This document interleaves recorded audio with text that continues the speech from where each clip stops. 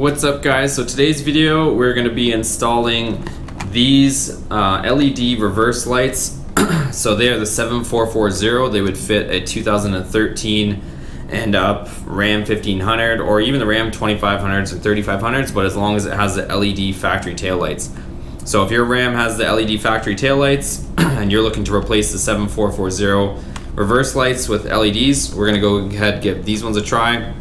Apparently these ones are, are the ticket. I've tried a couple other ones if you guys have seen the other videos and they worked but they threw or illuminated a air light on the dash saying that the bulb was burnt out which of course was annoying so we're gonna go ahead and try these um, I went ahead and tried this same brand with the um, license plate bulb. so if you're stopping into the channel for the first time and you want to also change the bulbs that go around your tail or your um, license plate check out some of those other videos and basically any LED or HID mod that you're looking at doing on your RAM 1500, 2500, 3500, check out the other videos that I have because I've basically covered every single bulb that you could possibly do, even interior lights. So check that out. These ones here, uh, this is the company again, LASFIT, I guess is the name. There's no polarity to these. Um, they have this kind of weird color, this bronze or gold coating on them. I don't think you'll see it once it's in there, but um, they were pretty cheap. So I want to go ahead and try these. Um, again, if you guys haven't already seen, check the other videos for some of the other stuff, but let's go ahead, pop these in, super simple, and we'll do a comparison on before and after and how bright these are, and hopefully there's no check engine, or not check engine, but bulb out indications with these bulbs. All right, so super simple. You're gonna pop open your tailgate and then you're gonna see these two screws here. They're T25 bit, so you're gonna remove those. And then when you remove the tail light, you're gonna slide it backwards, so straight back from the body. Don't try to take it out this way, but you're gonna come straight back towards the back of the vehicle. It's gonna slide and pop out. And I'll show you the tabs as well, like I did on the other videos.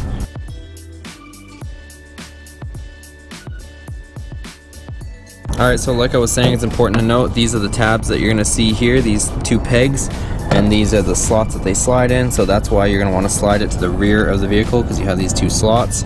So if you try to pop it out any other way, you might end up breaking something, so again, slide it rearwards. So now we can go ahead and change the bulb. So on the bottom of the tail light is where you're going to find your bulb, so you're going to turn this counterclockwise and remove it. And then of course you're going to wiggle this out and these bulbs don't have a polarity, which is nice, so you don't have to worry about which way you put them in. So go ahead and pop this out. And we will shove this in here, like so. Put the bulb back in, turn it clockwise, and that's it. And then to reinstall the tail light, you're gonna line up these with those tabs like I was mentioning slide the taillight forward. You're gonna hear that click, and then you can go ahead and put in your two screws, like so.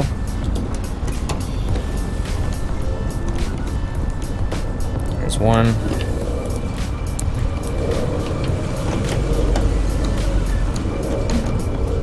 There's two. Okay, so now we can move on to the other side, but before we do, let's go ahead and take a look at what they look like, comparison from the LED to the other one in the daytime. All right, here's what it looks like during the day. You can see we have this nice crisp white light, and this is obviously the LED one, and we have the matching, same brand, the LAS Fit LEDs around the license plate here, which are the nice matching LED crisp light. And on this side, of course, we have the yellowish looking halogen light so you can see the color difference so a lot different color that we have on the two so of course these lights look a lot better and crisper. So let's go ahead and swap out the other light and see what they both look like during the day.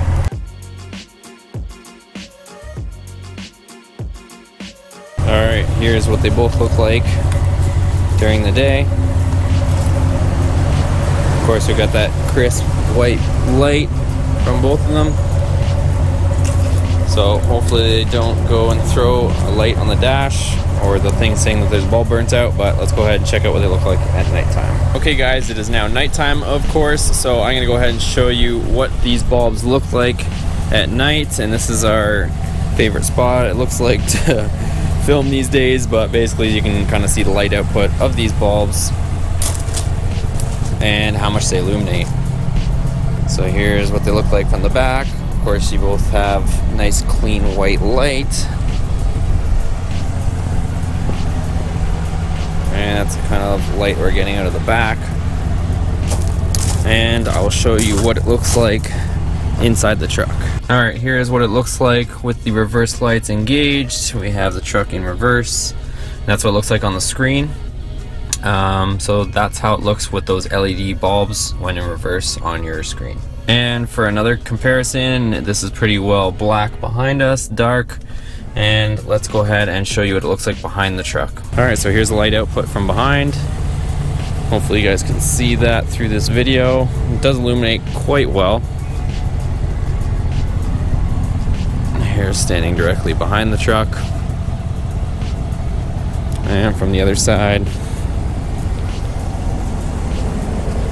So I'd say it's doing a pretty good job.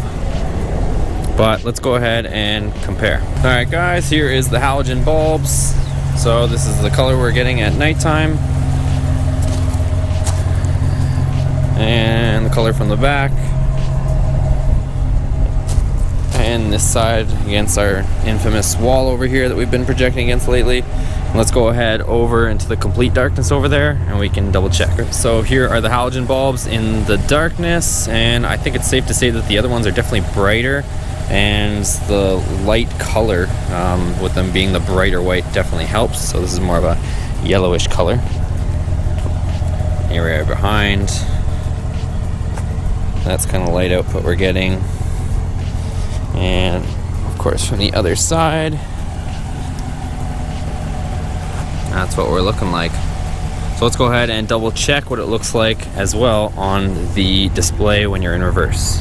All right, this is what it looks like on the screen in reverse. So it doesn't look too bad. We're of course in reverse and it's pretty dark outside. It's the same darkness as it was a minute ago. Um, but same darkness comparison from both uh, lights as far as the halogens and the LEDs but I think it's safe to say that the LEDs are a little bit brighter for sure. So unfortunately guys, it looks like those LED bulbs from LASFIT are still throwing the code or message on the dash. I'm gonna go ahead and show you.